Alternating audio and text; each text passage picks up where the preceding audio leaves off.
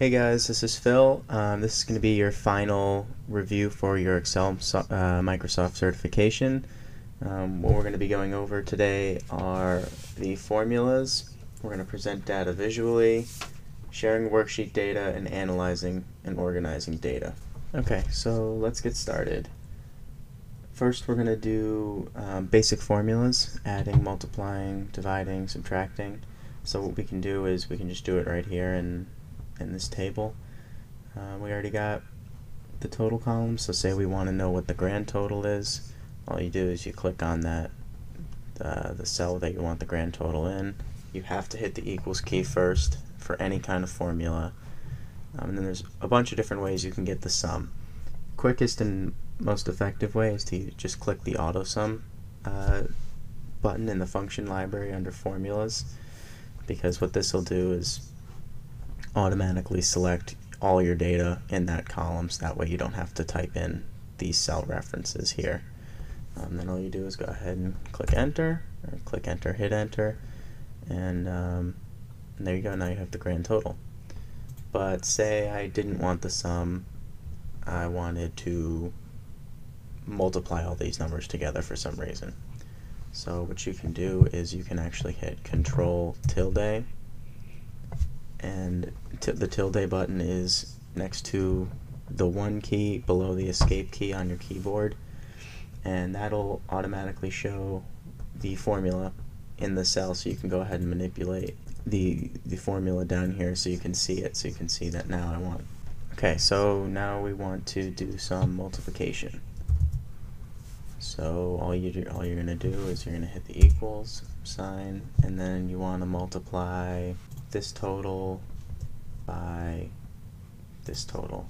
All you do is hit, and then you hit enter, and now we've got this huge number that's multiplying cell F6 by cell F10. You can do the same thing with divide. These are all just your keys on your keyboard. The divide is the forward slash, the multiply is the star, and then subtract is the subtraction sign or the, the hyphen sign.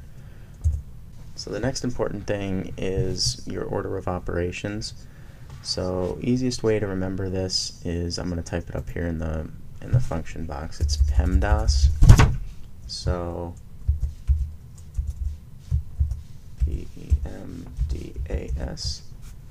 And what this stands for is it's your well it's your order of operations. So whenever you type this into a, whenever you type a formula, it's always going to take what's ever in parentheses and do that calculation first, then its exponents, then the m is multiplication, d is division, a is addition, s is subtraction. So an example of this would be um, I want to do 1 plus 1 in parentheses oops and but then subtract by 5 uh, squared. So what this is going to do is it'll do the 1 plus 1 first, giving it the 2, and then it's going to uh, do 5 squared, making 25, so then it's going to be 2 minus 25, giving us the negative 23. So this is your order of operations. You can do it, you know, if I then wanted to, out in front, say we wanted to do 2 times 2 plus this 1 plus 1, you know, all this other, this mess back here. So now it's going to be still doing this first, then it does this, now it multiplies 2 by 2 and then goes through all the addition and subtraction. So that's what you got to know for your formulas is PEMDAS because um, that that's how Excel is going to that's the order Excel is going to calculate all your all your formulas. Okay, so the next thing is absolute and relative cell references. Um, these are very important when it comes to your formulas. So uh, basically I just made up this little data set here. This is your this is my data set. Um, and then this is my formula as you can see up here. So right now these are both relative cell references. So when I click down to the next um, cell, everything moves down one. Instead of L4 times K5, or L4 times K4, it's L5 times K5. So that's not working for me because all I want is I wanted to have the numbers 1 through 6 being multiplied by 50.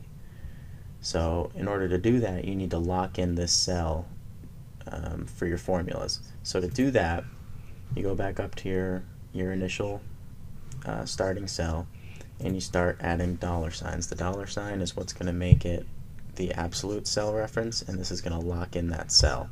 So adding a dollar sign in front of L4 locks in the L column. So now when I go down it'll it'll only just show the L column but the number would still change. So it would still be L5, L6, L7 and so on.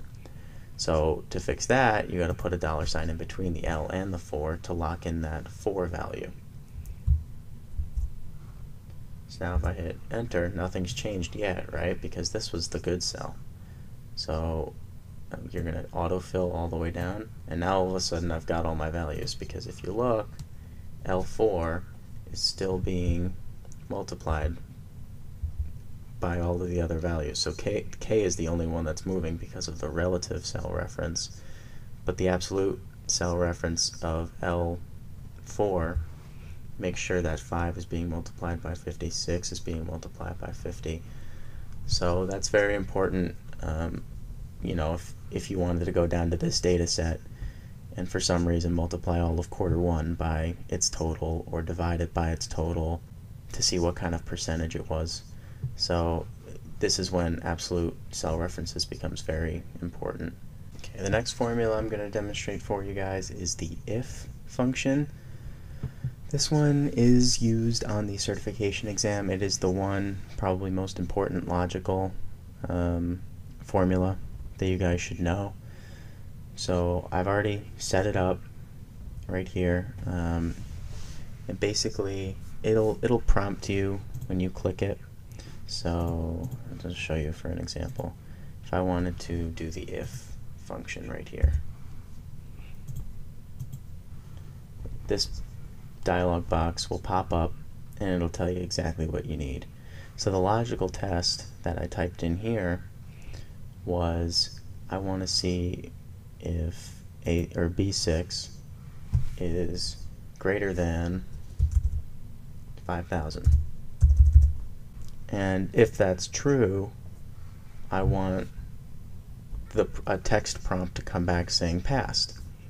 So in order to type text in, into um, into your formula, you have to use quotation marks.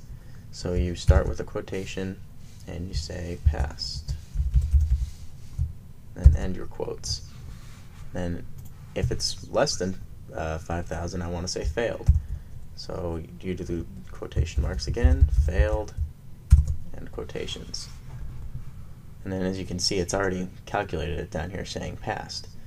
But you go ahead and click OK, now this is all set up for you and you just drag the auto using the autofill feature you drag it all the way down and now I can see that Adrienne Parmalee failed in her first quarter. She was less than 5,000 but Mandrake Wilson passed. So that's why instead of like searching through all this all these numbers to see which one is greater than 5,000 now you have a visual textual aid to tell you, okay, top three passed, then we had two failures, who were they, and so on. So this worked with the autofill feature because we used relative cell references. If you um, if you try to use like a whole group of data, the function will actually fail. So you have to use the relative cell reference. Um, see, so that's B6 right now, and then if I went down to be B7.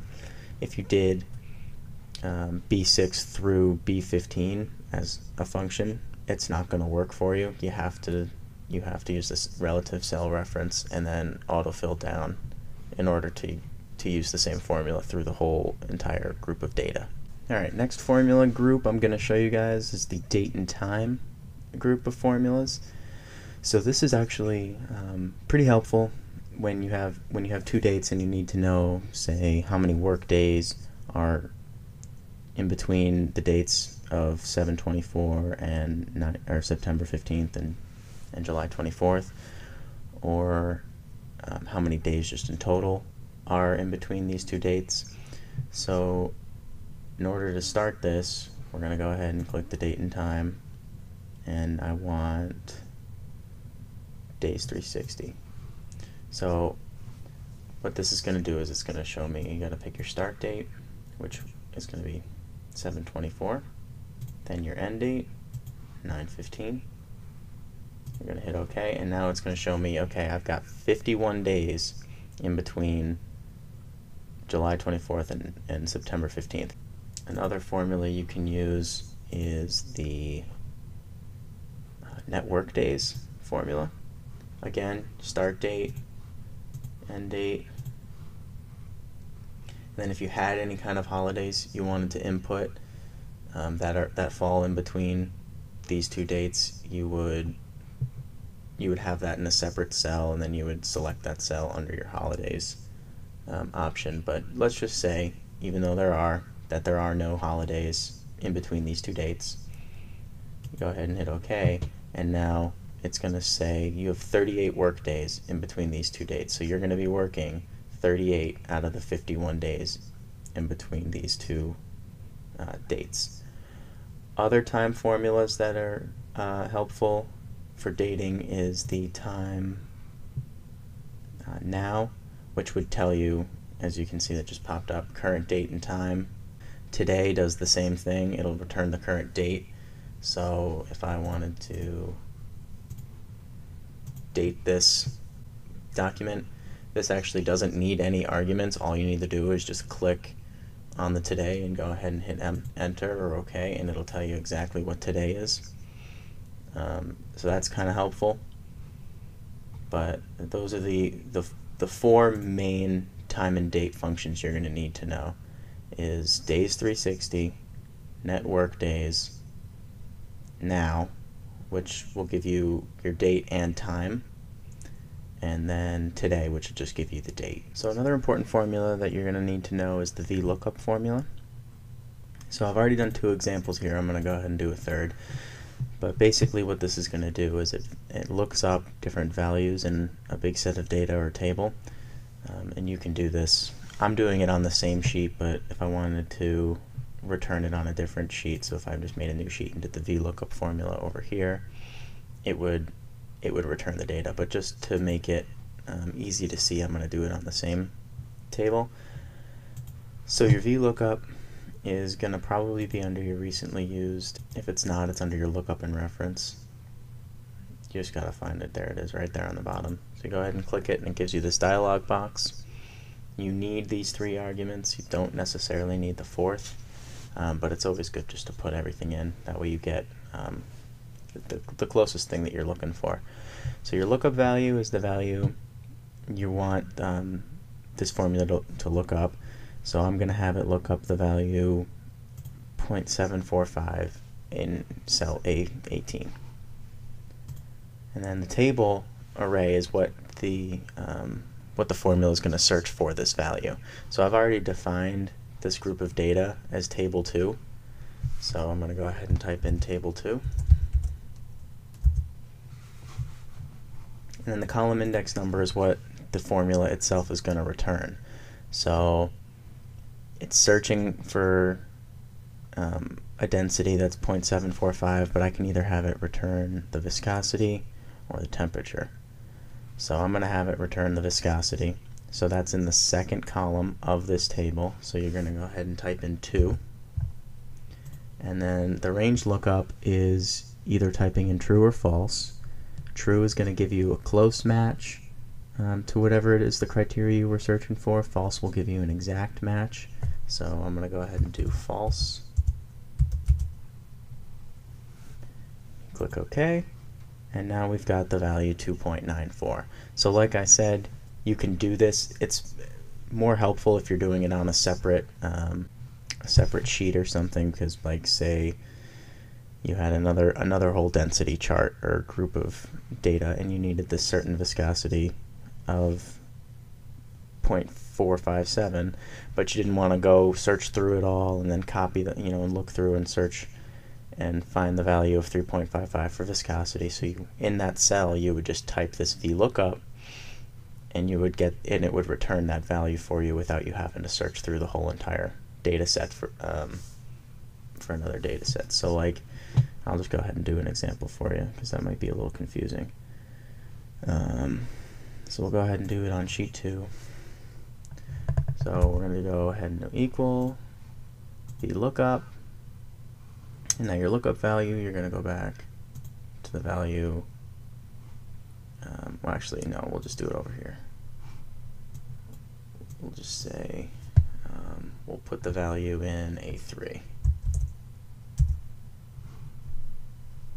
And the table we're going to want to do is still table 2.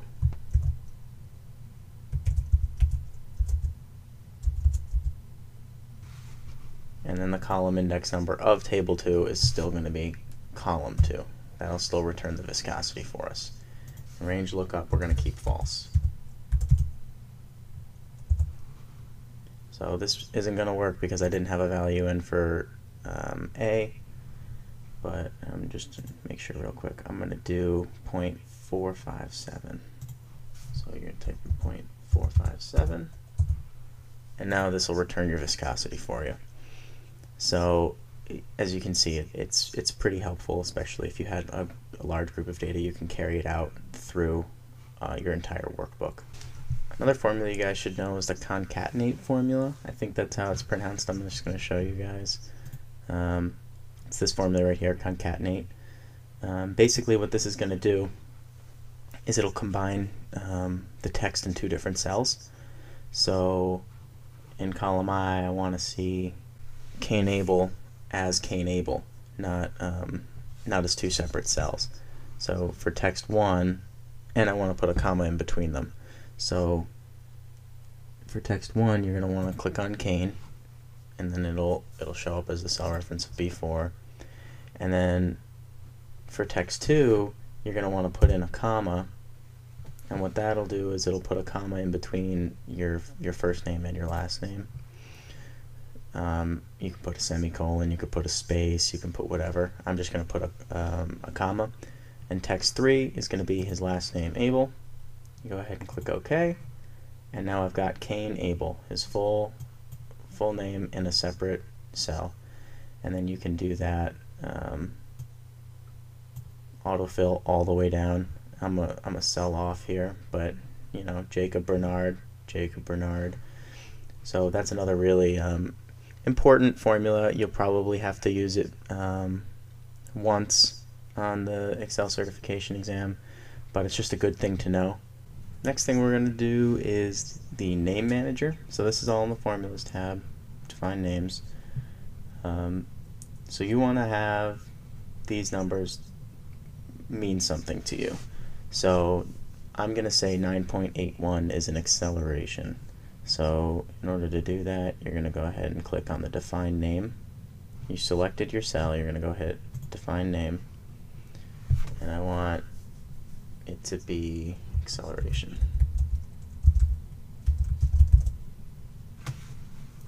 You go ahead and it refers to because this was already selected this um, this cell. So go ahead and hit OK. And now I want to define this as the mass of whatever the object is. So you go ahead and click define name again, and I'm just going to say mass. So now what you can do is on a different worksheet, a, or I'm just going to do it on this worksheet, you can actually do a formula um, that gives you the force of this uh, object. So all you would have to do here is um, hit equals, and then you start typing in acceleration, and all of a sudden you get this little name tag and acceleration pops up. So you go ahead and click that, and automatically now it's referring to this. Now I want to do um, times the mass. So you go ahead and start typing in mass. First thing that pops up, your name or your defined name of mass. Click that.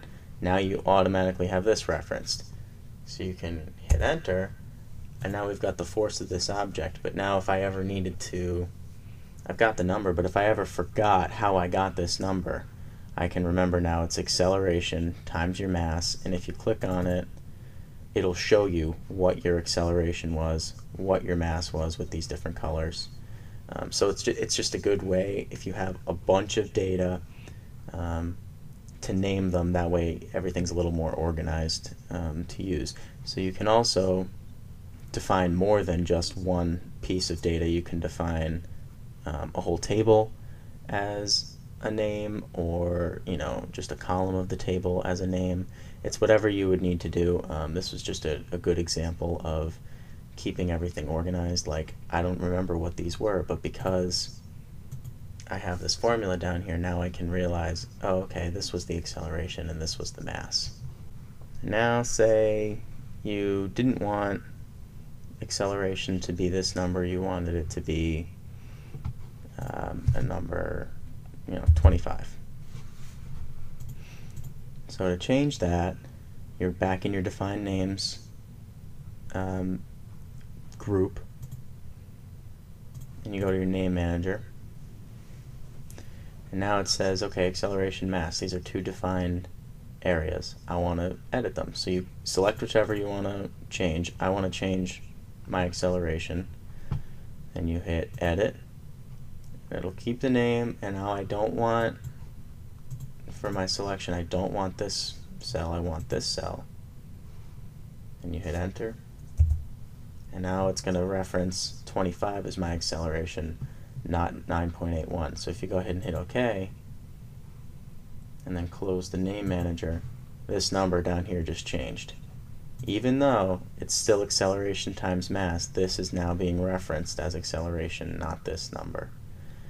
So you can do that with mass or whatever kind of um, thing you have defined as a name. So you just go into your name manager, a list of everything that's defined will be there, you can delete them as well. So now I don't want this acceleration. You highlight it, you click delete, and now the acceleration is no longer going to be there. The name acceleration is no longer going to be there. Hit close again. Now all of a sudden this formula is not working because I've typed in acceleration, but that's not defined as anything. So that's how you can manipulate um, different names. So the next section we're going to be going over is the presenting data visually uh, section. So the first thing we're going to do in this section is insert um, like clip art or different images. So that's found in your insert tab under your illustrations. You can do shapes, smart art, clip art, or pictures. Um, smart art you probably will have to do. These are different um, graphics like flowcharts and stuff. I think either it was either in the Skillsoft courses or the GMetrix. You had GMetrix test prep you had to find like a different process flow chart. Um, I, I can't remember which one it was, but one of these, and you have to position it in a different um, place, like either to the right of the data or underneath. So all you had to do was just, um, again, go to the Insert tab, Smart Art, pick your flow chart or whatever chart it is you want, Smart Art you want, and then you go to your this new formatting um, tab shows up up here with the designer format for your smart art. So if you're under the design tab, you can change the flowchart, the different layouts, you can change um, different formats about it. Um, if you wanted to just move the whole thing in general, you have to click on this uh, gray outlined box and just click and click and drag and you can move it wherever it is wherever it is you want to move it. Um, you can change the word art style um, to anything that's in in, um, in here. So that's cool, and then you can change the, the outlines of the boxes. This, this is the shapes, so if I wanted a purple box with a white background or whatever, um, that's in your shape styles group. You can change the height, the width of the boxes, of the, when I say boxes I mean like this box here. Um, outlines and everything so you can you can really manipulate it um, underneath your format tab and it'll only show up after you insert the smart art. So this is going to be where you're going to be doing most of your work is in the format tab. And the next thing we're going to do is we're going to insert an image. Uh, so we're going to go back to the insert tab going to insert a picture. And I've already loaded up a picture here of this cute little baby. And say I don't want um, the background. I don't want this beach background. So you go back and it, once you select the picture, it'll automatically boot you to the Picture Tools tab, Format tab. Um, and this, the adjusting is where you're going to be doing a bunch of stuff. So you can, if you click on the corrections, you can change the brightness and contrast of, of the picture itself. Um, artistic effects are kind of cool. Can make him inverted and uh, like glowy edged. Um, so so you will have to do this um, with or on the certification exam. You'll have to insert an image and manipulate the image however the question asks you.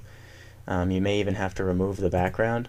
So once the picture is selected, you click remove background and it'll actually pick out the area that um, has the most contrast. So it's going to take out some of his arm here because it, it, thinks it's too close to the picture of the beach. Um, so this isn't a great example for removing the background, but ba basically that's all you do is you just click remove background, you say keep changes, and now the beach is gone, and and um, you just got this, you just have the baby with, within that square. Next thing we're going to do is spark lines. So this is another thing that's important on the certification. You will definitely get a question on spark lines. Um, first thing you're going to do is select where you want the spark line to go.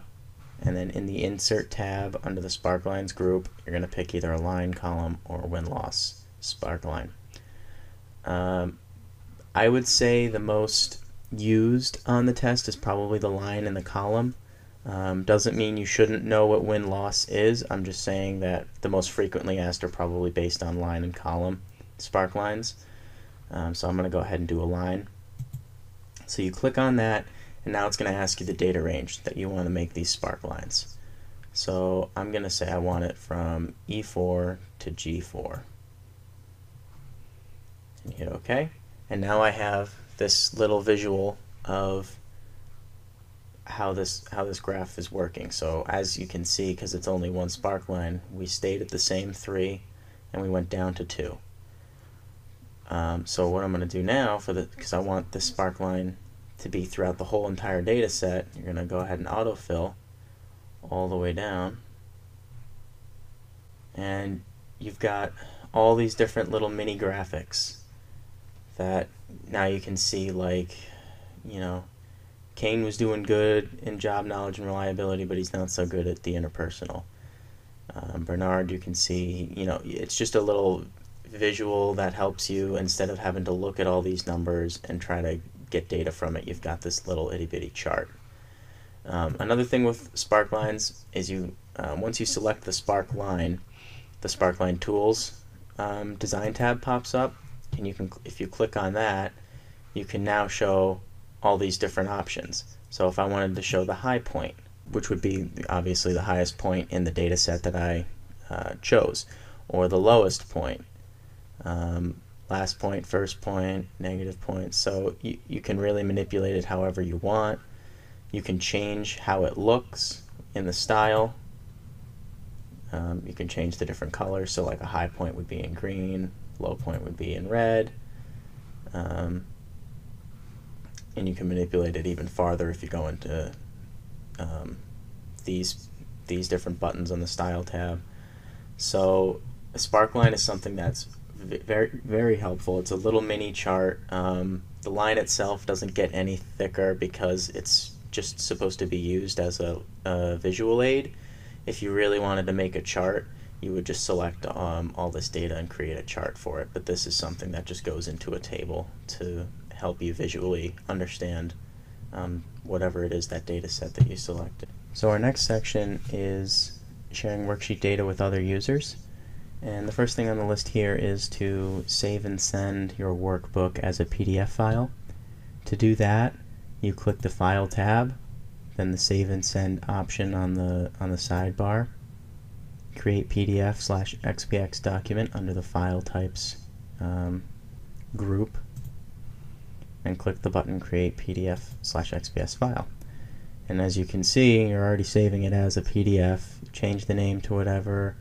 Save the document to wherever it is you want to save it and then you can attach it to an email and send it um, to to your other users. So next thing is uh, inserting and manipulating comments throughout your workbook. So best way to do that is to right click on the cell you want to insert the comment and go ahead and click insert comment. And we'll just say um, change graph type to type 6 click off and now you've got this comment here. So when you share it whoever opens it next will now see this um, this comment and then they should be able to manipulate based on the, the directions that you you've uh, dictated to them. Um, if you wanted to change it, so now it's going back to the person who had initially written this comment, you can just click on it and then change whatever it is you want to write, like okay, it's done. and then when when uh, that original person sees it again they can be like okay that works now I'm going to delete this comment so you right click on the cell that the comment is in and you can tell because um, of this little red arrow and obviously the huge text box but the little red um, corner top in the top right corner you right click and you can go ahead and delete the comment Next thing we're going to show is how to filter data in a table. So this table has been created and you know it has the filter on when you can see these little drop down um, icons. If it's not, you go to your data um, tab and then in your sort and filter you just click this big filter button and, and these uh, drop downs will show up. So filtering is obviously super helpful because if you, as you can see here, this data is incredibly long, a lot of data. So if we wanted to just see one of these products versus all of the products, filtering is super helpful. So you go to your product um, column here, click your drop down, and you uncheck select all because you're only going to want to see one or two or maybe three products. So I want to see Boston crab meat, uh, Jack's New England clam chowder, and then the long life tofu. Click OK, and then automatically all this is going to show you in the entire table is just what you had selected as um, as your filter. You can do that with with anything. So if I wanted to just show the Anton customers, you click OK, and now you can see that Boston crab meat, out of the three that you had selected, is the only one with the Anton uh, as a customer. Next thing you guys can do with a table is sort the data. So again, you can do that with your filter drop down. Um, let's just change this back to select all. Um, so if you click your drop down button, these are different sort options. Sort A to Z or Z to A. Um, best way to do it though is to go into your data tab, click the sort uh, button, and now it gives you your whole sort uh, dialog box. So one thing you will have to do on your test is sort by multiple levels. So to do that, first you're going to pick your, it'll tell you maybe sort by product from Z to A and then customer A to Z. So to do that, we're going to sort by your product, um, values is just what's in the cell. And we're going to go from Z to A. And then you click the Add Level button to sort by this, then by your customer values from A to Z. You click OK, and now all my products are from are inverted, and I still have all my customers from uh, from A to Z based on the different product. So once ve the veggie spread product ends, Uncle Bob starts, then the A to Z on the customer will restart. So the last thing I'm going to show you in today's video is conditional formatting and how to apply it. Um, to find this, it's in your Home tab under the Styles group. conditional formatting. Um, so as you can see, my sum for quarter one already has some conditional formatting on it. Um, I did a gradient fill bar here, so I'm just going to show you guys that again um, with the rest of this data. So I'm going to go ahead and select the sum of quarter two all the way to quarter four, and I'm just going to select that much. I, um, you know, for whatever reason, you just only want to do the conditional formatting this far. So you click conditional formatting, and you get all these different options highlight cell rules so you can uh, highlight certain cells based on the criteria you give make it equal to 5000 or less than 5000 or whatever um, top and bottom rules would give you the top 10% um, bottom 10% above average below average um, and, and highlight them for you data bars is what I just showed you on the sum of uh, quarter one column um, which is what I'm going to be doing again. I'm just going to do it probably in a different color because um, the data bars with the gradient fill or solid fill is probably the most frequently asked um, conditional formatting rule. But you can also do color scales or icon sets, and you know it'll show you that with a green arrow you're good, yellow arrow you're okay, red arrow you're bad. Um, so I'm going to go ahead and do the data bars. I'm going to do a pink gradient fill. And now I've got these gradient these gradient bars in here. So basically what this does is now I can see that the greatest thing in what I selected was this 9,579.50. But the least that was there, you know, maybe this $518. So basically, again, it's kind of like your Sparkline. It just gives you a visual um, in your actual data set versus having to create a whole separate graph just to see um, this data. So it, it helps because now all your data is in one place and visually you can see um, the differences between the data. Okay, and with that, that ends the Excel final review session, and we look forward to your success.